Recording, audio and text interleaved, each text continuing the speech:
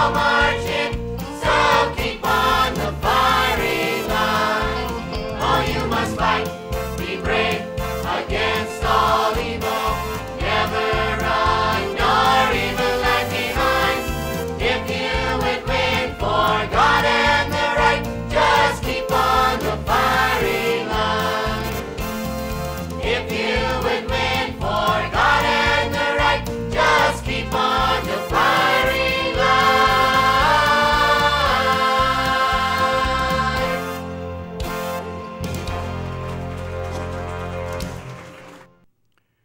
Friends, we'd like you to stay tuned to some wonderful singing by our young people, as well as some lovely testimonies. Your heart is going to be encouraged.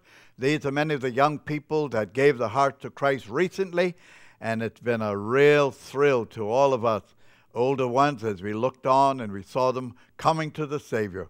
It's been a tremendous occasion and uh, a spiritual awakening amongst many of our young people. We thank God for them, and uh, we try to capture them on tape so that you could uh, be blessed in your own heart. Just, rem- just be mindful of the fact that they've just recently trusted the Lord. God bless you now as you watch and as you listen.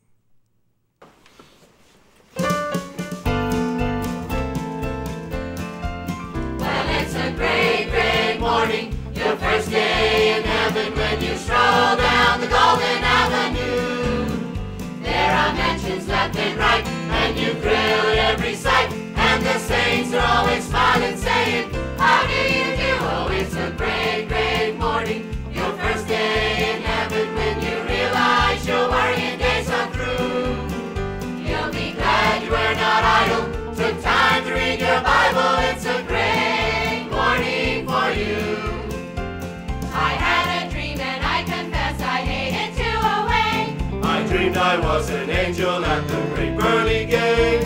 St. Peter said, Why, hello there, where have you been? We've got your mansion ready, so come right in. And then he rang for an angel to act as a guide. He spread his wings a time or two to learn how to fly. Oh, it's a great, great morning. Your first day in heaven when you stroll down the Golden Avenue. And you thrill at every sight. And the saints are always smiling, saying, How do you do? Oh, it's a great, great morning. Your first day in heaven when you realize you're worrying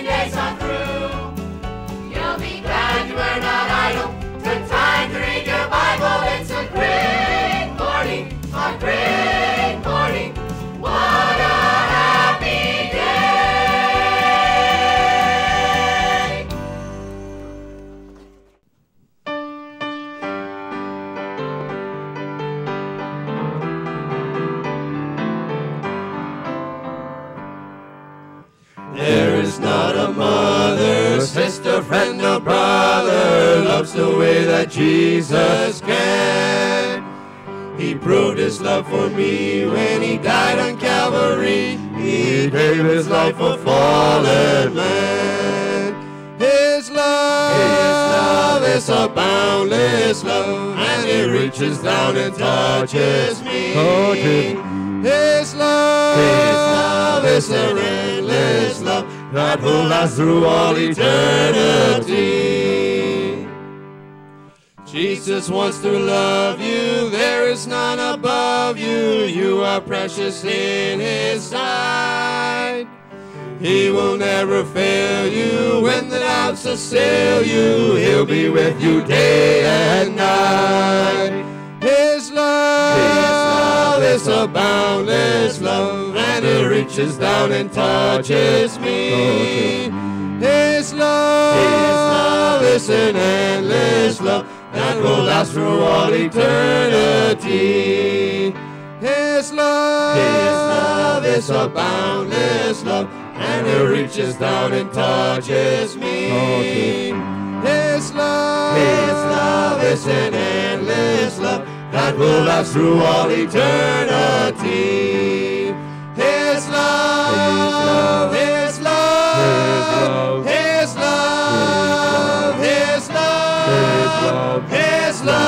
a boundless love.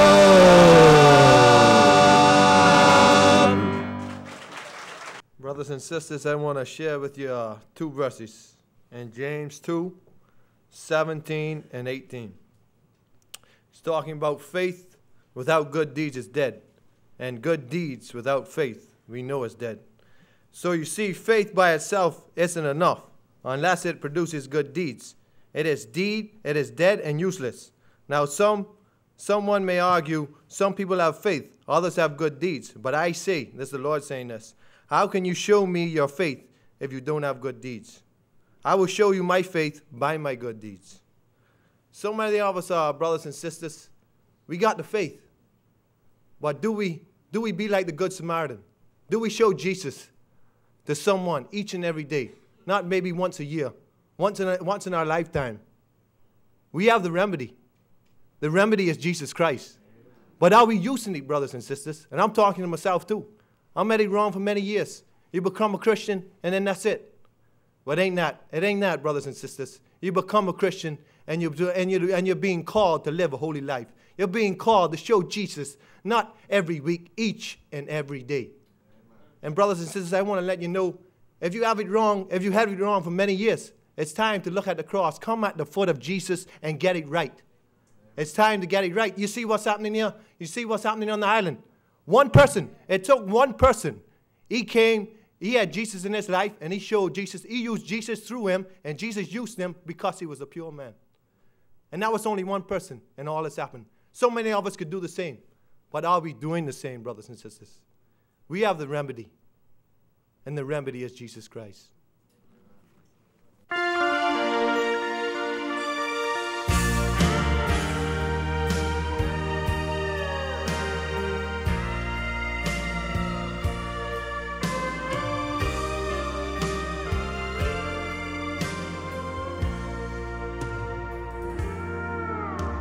The flowers couldn't lift their heads on hills of grass so green. The sun would never shine to cause the river silver sheen. The bird would have no song to sing from high up in the tree if there had been no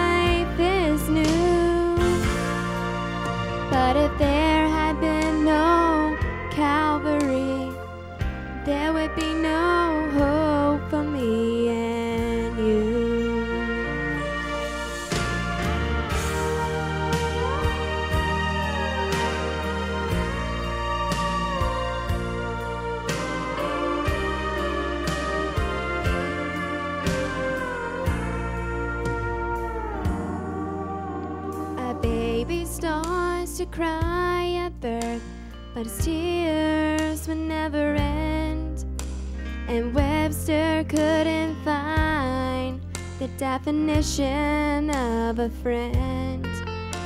The wasted blood would flood the streets of sin society if there had been no Calvary.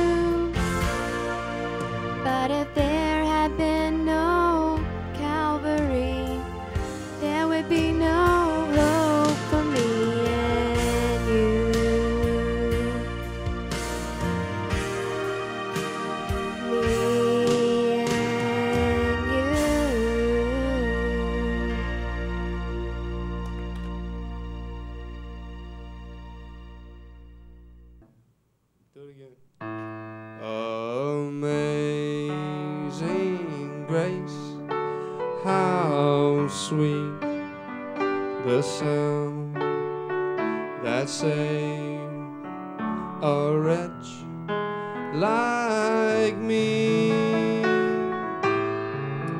I once was lost, but now I'm found. Was blind, but now I see. Twas grace that taught.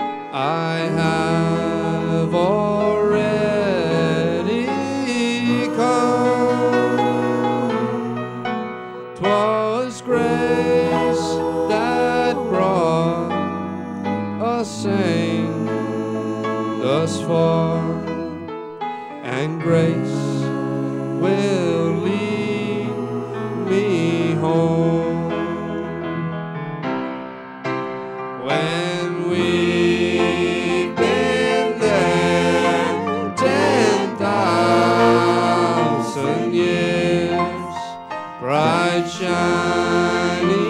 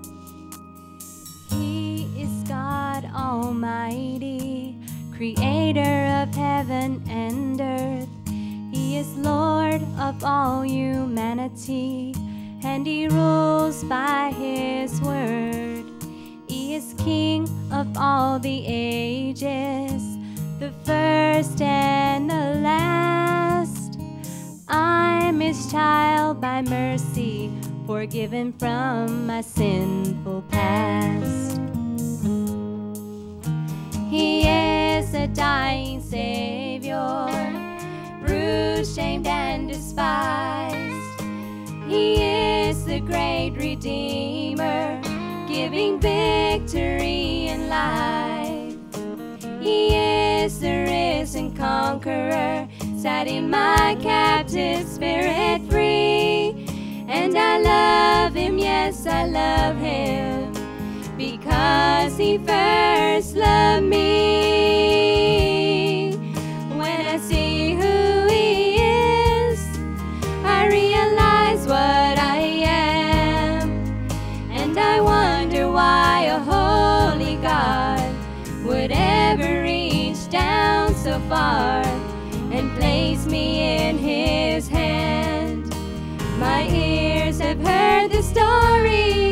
But now my eyes have seen his glory, and I can't turn away from his grace.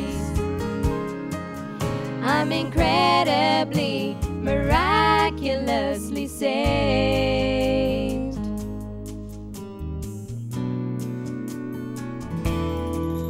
He's my friend and gentle shepherd, my shelter from the storm.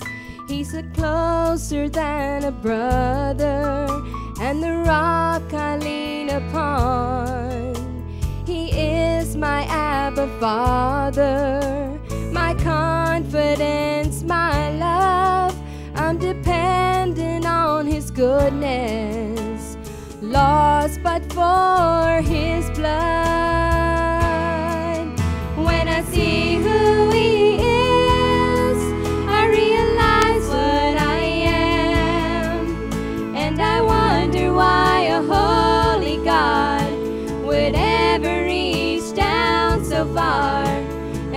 placed me in his hand.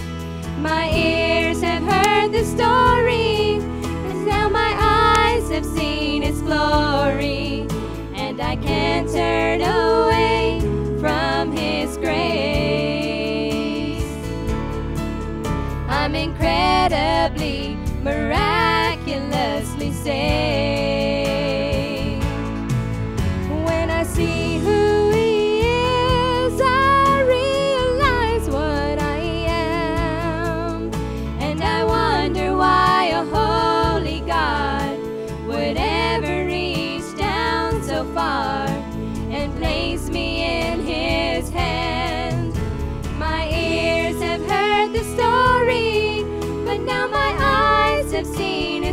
glory, and I can't turn away from His grace. I'm incredibly, miraculously saved. I'm incredibly, miraculously saved.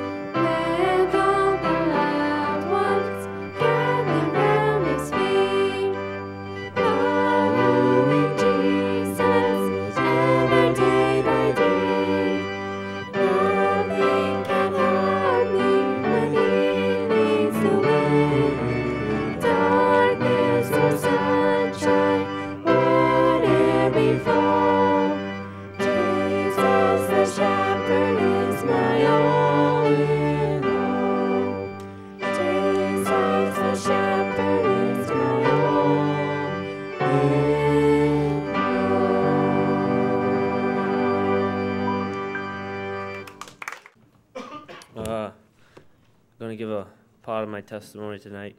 You got to bear with me.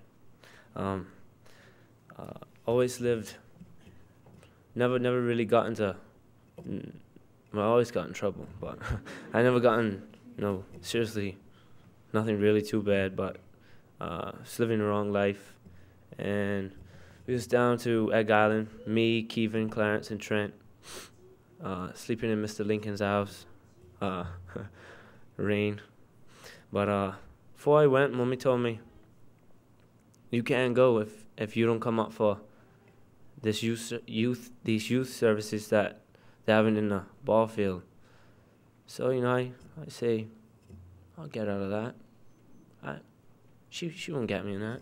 I'll just stay down there. Say the broke boats broke down. I don't come home.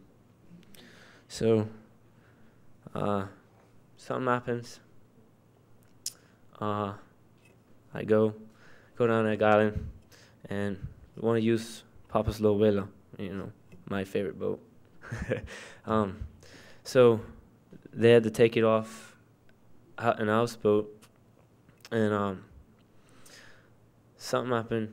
She she, so she's smart, you know. So she told Papa I couldn't take the I couldn't take the whale until I promised him that I'd come up for the youth service. And you know I can't break promises, but I promised to Papa. That's my Papa. And so uh, I go, you know, get the whaler. Promise him I'm coming up. So well, now I'm gotta go. So, mommy, I go down there. We was down there for three days, uh, showering in cold water. So, uh, mommy calls me. You better come home. You better come home. You stay down there, you're punished. I'll send your pa down there for you. all right, all right. Next day, this is night, that was the night before. Next day, day before, that was a Wednesday night. Says, she calls me. You better go. I'll send your pa down there for you. All right, all right. So right before, right before, uh, around that was in the morning. Around after lunch sometime, I call her. You know, it's no, not too much a good service down there. So I'm up on top of Mr. Lincoln's roof. Mommy, do I have to go? I don't want to go. So she makes me go. I called her like 40 times. You know, she she makes me go. So we all got it planned. We ain't got, we only could go out for the first night. Coming back down, that'll be it. And gotta stay. So go out for the first night. All planned to leave, leave 12 o'clock at night to go back, back down there, go and sleep down there. All of a sudden, thunderstorm. Can't go back. Have to leave the whaler down there. Six gas tanks. Let her ride. Leave them down there.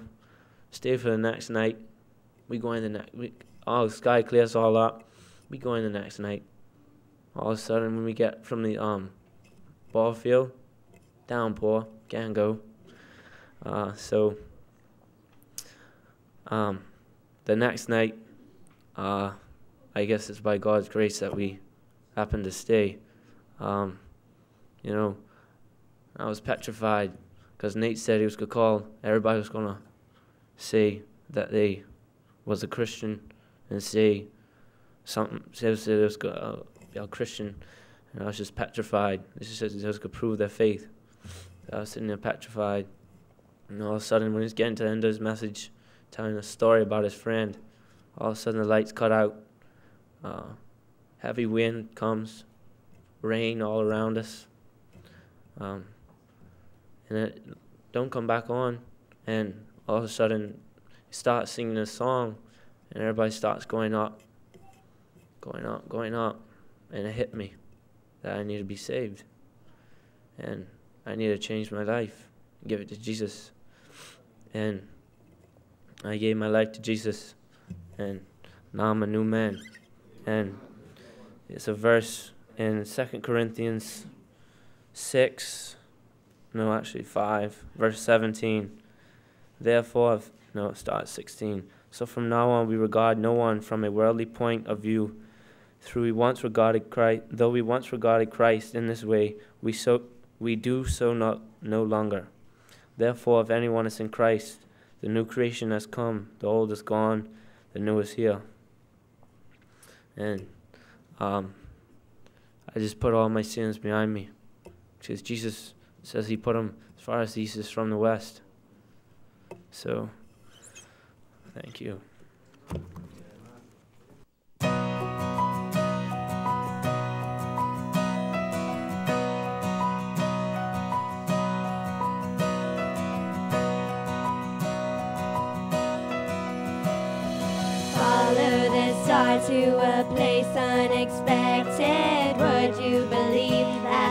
All we projected a child in a manger? Lowly and small, the weakest of all, unlikeliest hero, wrapped in his mother's shawl, just a child. Is this who we waited for?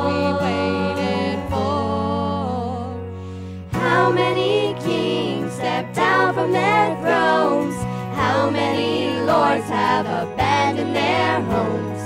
How many graves have become the least for me? How many gods have poured out their hearts to romance a world that has torn all apart? How many fathers gave up their sons for me? Our gifts for a newborn Savior, all that we have, whether costly or meek, because we believe. Gold for his honor and frankincense for his pleasure and myrrh for the cross he'll suffer. Do you believe? Is who we waited for? Many kings stepped down from their thrones? How many lords have abandoned their homes? How many graves have become the least for me?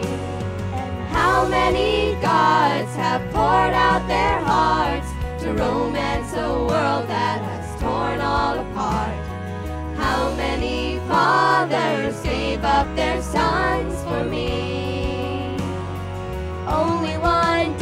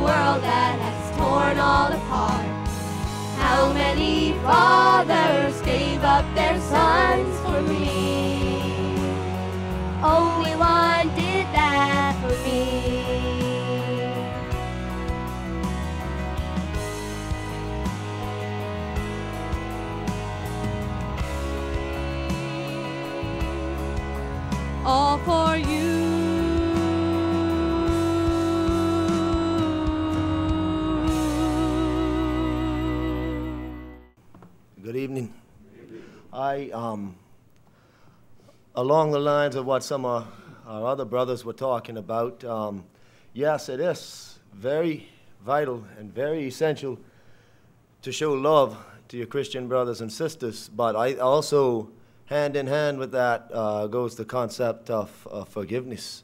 I'd like if you, if you could turn uh, one chapter over from the chapter that um, Kirby just read, to Matthew 18. If you want to start at verse um, 21. This is a well known parable. You probably heard many, many messages on it. Um, it starts in verse 21 with Peter coming to Jesus first and asking him, says, Then Peter came to him, Jesus, and said, Lord, how often shall my brother sin against me and I forgive him? Up to seven times? I once heard someone say that uh, it was a custom of the day that uh, three times was the limit. Three times the Jews had a custom that, you know, it was customary to say three times. So Peter was thinking to himself, okay, well, well I'll, I'll, I'll be gracious here. I'll extend that. I'll say seven. Who knows? I don't know whether he was thinking. I know seven is, is like the number of perfection in the Bible, but he, I, he thought he was being gracious. He was extending that, and surely Jesus would say, yeah, that's, that's good, Peter. But if you look in the next verse, says, Jesus said to him, I do not say to you up to seven times, but up to 70 times seven. 490, if you do the math. Now, I don't know about you, but if I'm going to go out and if I'm got to personally keep track of every single time that I'm required to forgive somebody, I'd rather not do it. I think Jesus, the point Jesus is making is unlimited forgiveness but how often do we, as, as this, what's about to be read in this parable, how often do we let bitterness and anger get in our way? Listen to the parable. That's verse uh, 23. Therefore, the kingdom of heaven is like a certain king who wanted to settle accounts with his servants. And when he had begun to settle accounts, one was brought to him who owed him 10,000 talents. Millions, some, comment, some commentators say. But as he was not able to pay, his master commanded that he be sold with his wife and children and all that he had, and that payment be made. The servant therefore fell down before him, saying, Master, have patience with me, and I will pay you all. Then the master of that servant was moved with compassion, released him, and forgave him the debt. If the story ended there, it'd be, wow, good, what a happy ending unfortunately, takes a plot twist, says, But that servant went out and found one of his fellow servants who owed him a hundred denarii. A denarii was a day's wage, so that'd be like hundred days' wages, a little over three months' wages. And he laid hands on him, took him by the throat, saying, Pay me what you owe. So his fellow servant fell down at his feet and begged him, saying, Have patience with me, and I will pay you all. Where have we seen this before? Happened just a couple minutes ago, right? But he would not, and went and threw him into prison till he should pay the debt. So when his fellow servants saw what had been done, they were very grieved, and came and told their master all that had been done. Then his master, after he had called him, said to him, You wicked servant, I forgave you all that debt because you begged me. Should you not also have had compassion on your fellow servant, just as I had pity on you? And his master was angry and delivered him to the torturers until he should pay all that was due to him. And this look at this last verse. So my heavenly Father also will do to you if each of you from his heart does not forgive his brother his trespasses. Am I standing before you tonight saying that that's uh, an easy thing to do? No. I know what it is. I've been there. I, I, I have walked the path of harboring bitterness in my heart. It's not an easy path for any of us. But this passage makes it clear the king, the king is God. We, when we look at what we owe God for what he has done for us, look at the huge debt. And then we can go out, our brothers or our sisters, that might have done this offense, that little offense. Maybe it not, might not be a little offense, it might be something big. I don't know what you're carrying, I don't know what. And I know from experience it is not an easy thing. But I think these verses in this parable makes it clear that if we are to be, to, to bear the name of Christ and to call ourselves Christians, not only uh, must we show love, but we must show our love through forgiveness. True forgiveness. Notice the verse, notice verse 35, the last verse says, um, from his heart. If, if each of you from his heart. How often do we say we extend forgiveness to someone, but it's not genuine? Deep inside, we're still harboring the thing that's troubling us. We need to realize God, even as his son Jesus was being nailed to a cross. Think of that. Think you, you are being you, you, you whips scourging you, crown of thorns pressing on you. Your flesh is being mauled, mutilated. You are being nailed to a cross. And, and Jesus could say, Father, forgive them, for they don't know what they're doing. And how often do we carry all our hurts and our offenses? Life is too short, my brothers and sisters. It's time to not only show Christians with love that we are Christians with love, but to show that we are Christian brothers and sisters with forgiveness. I ask you to consider this tonight. Consider the words of Jesus. Thanks.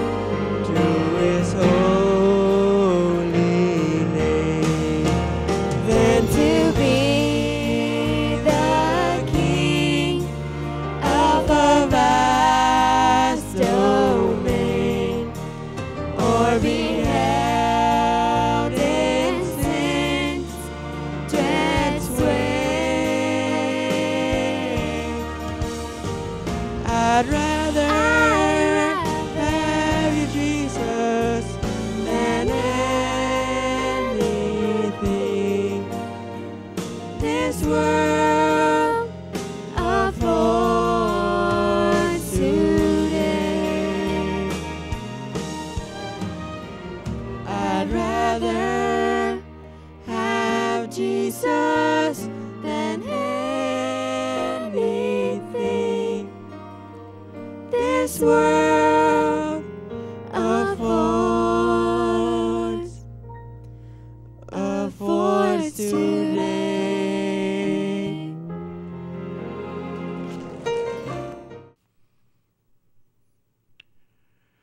Tonight, I'd like to share with you a message I've preached on it from different angles many, many times, but we never can over preach, if I may use the term, on the subject of forgiveness.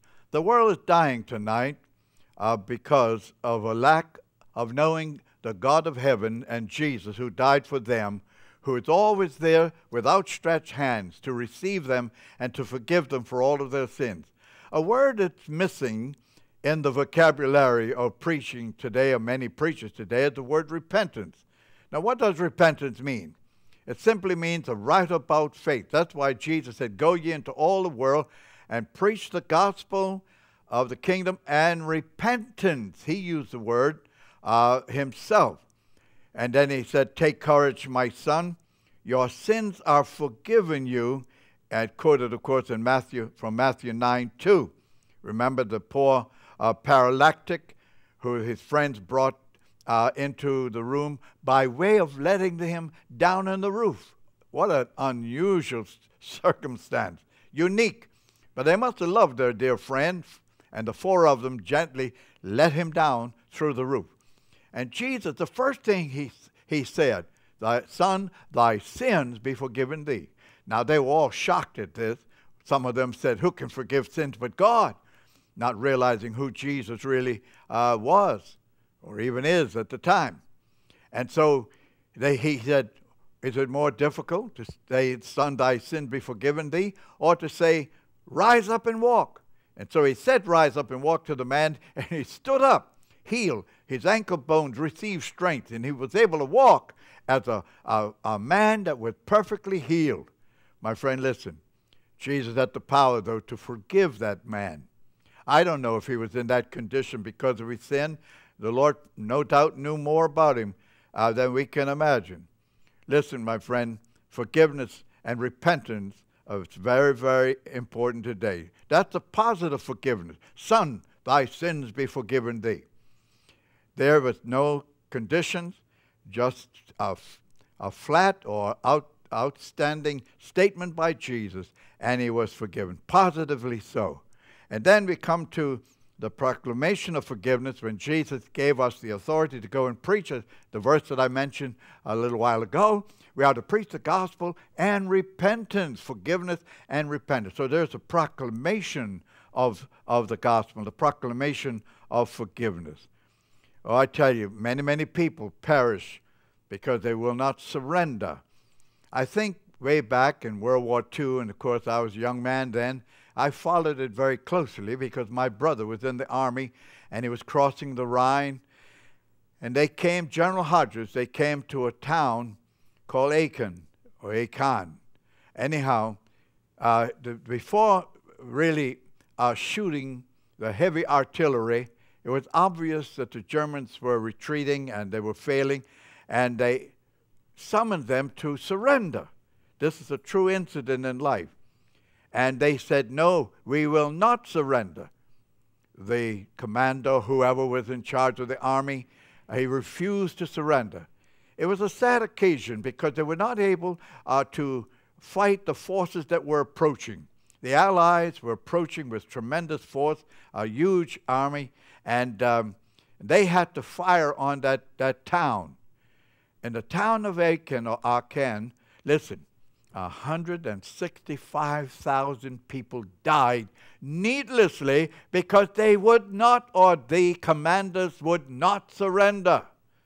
How many people die in life now? We're getting now to the nitty gritty uh, responsibility of every individual that I'm speaking to. If you're not a Christian, listen, how, are you holding out on God? Are you saying some other time? Are you waiting?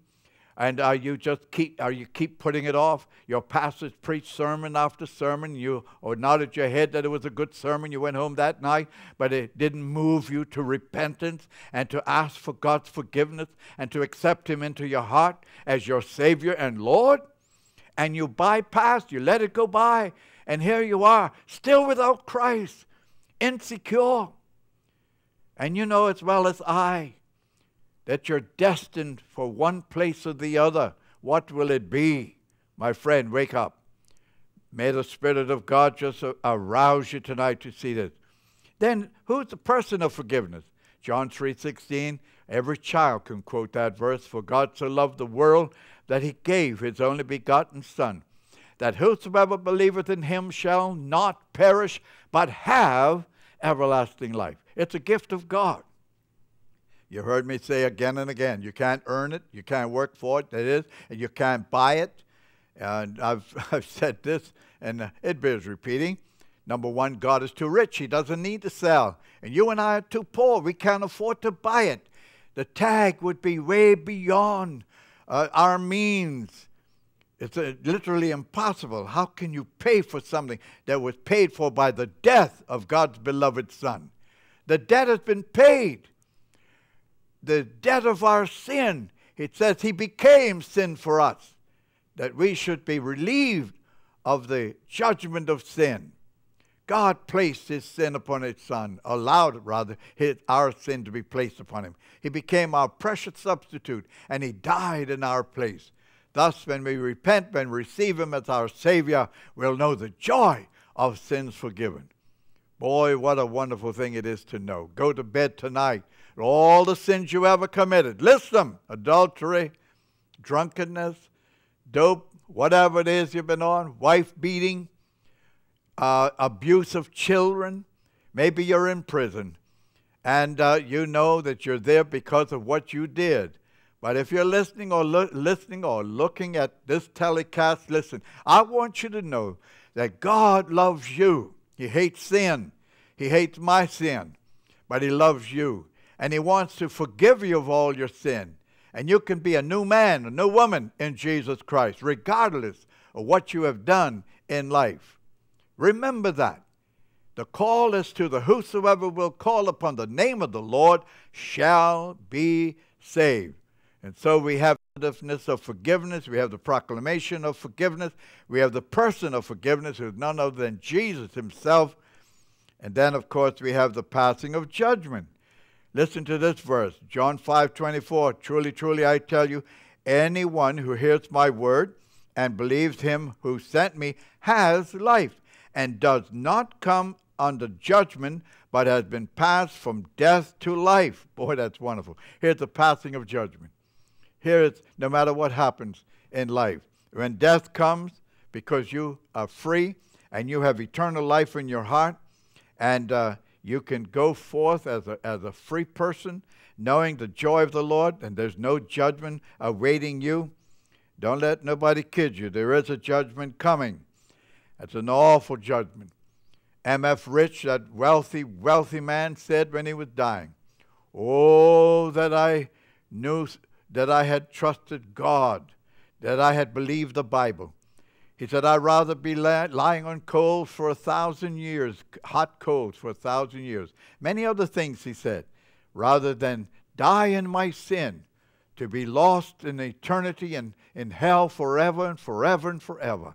This man was so, uh, so upset about the fact that he was dying without God. Oh, if somebody could have been there and just told him that there is a person who could forgive him all of his sin Jesus Christ Himself.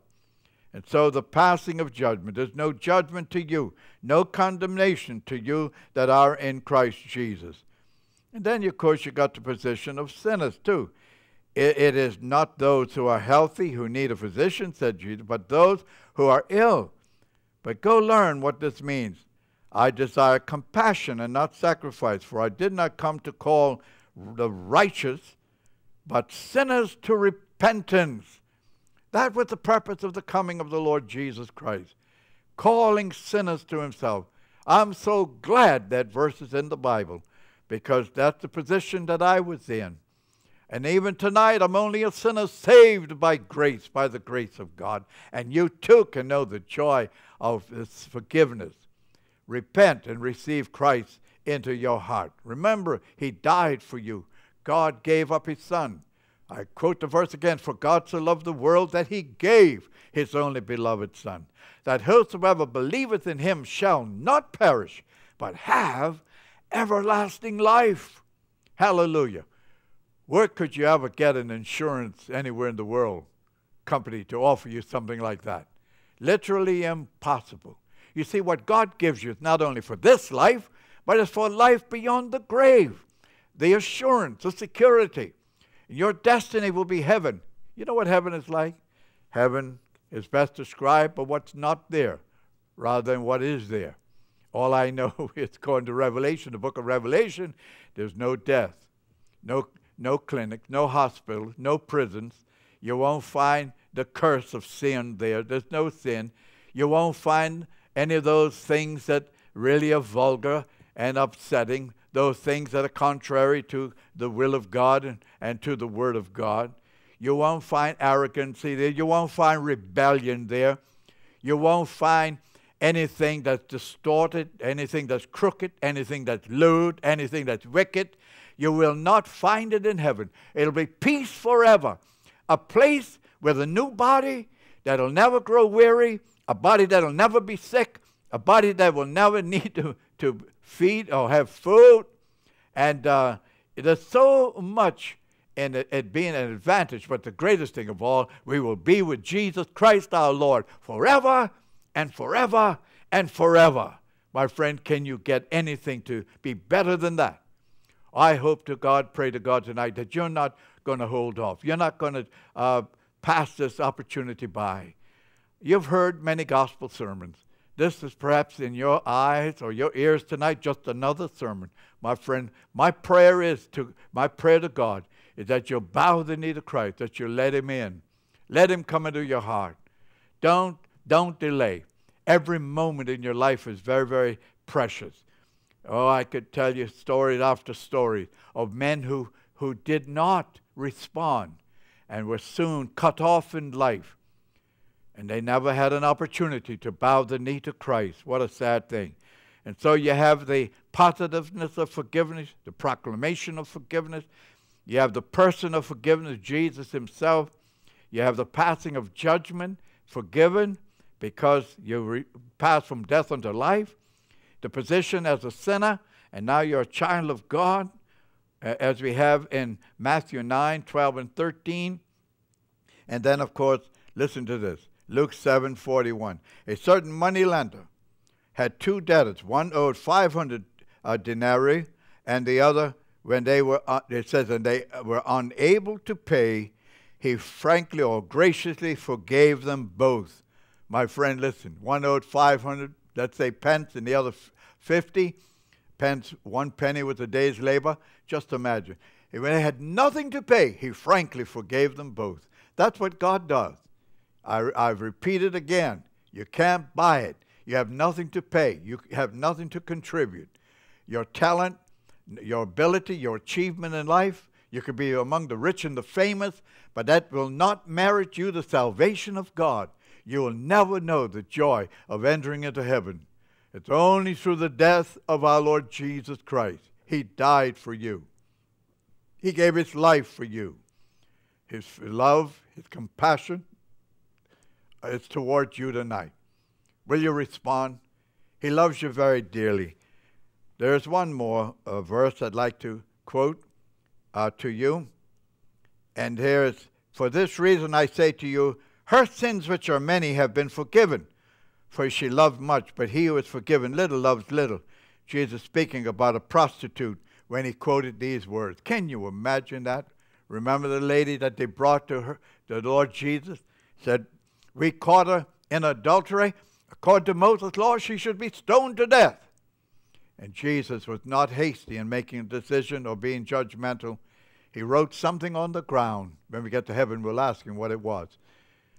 And then he looked up at him and says, Then he who is without sin, let him cast the first stone. And you know the story well. They all sort of disappeared from the crowd one by one. Why? Because they were all guilty, no doubt, of the same sin in one form or the other. Where are your accusers, ma'am? He said, I, she said, I have none. Neither do I condemn you, but go and sin no more. Oh, what a Savior that He died for me. From condemnation, He has set me free. I trust that you'll bow the knee to Him tonight. Give Him your heart. Let Him come into your very life. Remember, it's only a matter of prayer away, just asking Him to come into your heart, admit that you are a sinner, receive Him as your Savior tonight.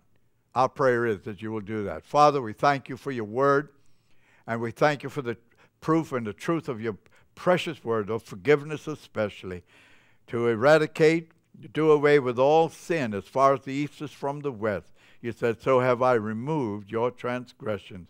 What a blessing. You put our sins behind your back, out of sight, never to be remembered against us any more. How we thank you for this. Bless your word tonight. Bless the singing of the young people and the testimonies. May it really strike home to hearts. May we have the joy of hearing many who are trusting you as a result of this telecast. We ask it in Jesus' precious name. Amen.